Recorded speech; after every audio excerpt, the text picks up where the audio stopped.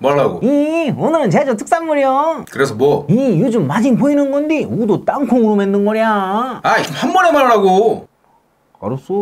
우도 땅콩 로세 10개 5,000원. 우도 땅콩 찰떡 로세 8개 9,900원. 우도 땅콩 초코 찰떡바이 12개에 12,900원. 제주도는 감귤 초콜릿 먹으면 되는 거 아니야? 에이, 그건 옛말이고 요새는 이게 대세요. 맛대가리 없이 돈만 베리는 초콜릿이 아 아니. 됐고 그게 대세인 거 누가 정했는데 요즘 이거 많이 사던디? 앞으로 근거 가져오고 말해라 알았어. 이거 맛있는디? 아 누가 맛있는 거 몰라서 그래? 어디서 샀어? 인터넷. 왜 세 개나 가져왔어? 제일 맛있는 거 골라보려고. 땅콩은 전부 우도 거야? rocher는 우도 프로에 나머진 중국. 초코 찰떡은 다 미국산의 땅콩 버터에만 우도 프로. 찰떡 rocher는 우도 프로의 국내산 95%. 다 수입이네 먹어봐 이건 다 국내산인데.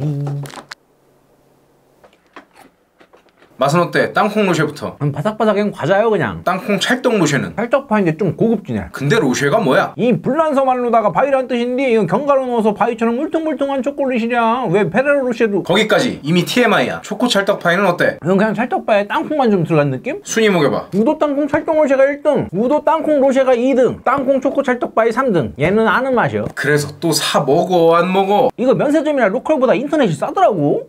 가뭄에 콩날 때 택배로 먹으면 좋겠다.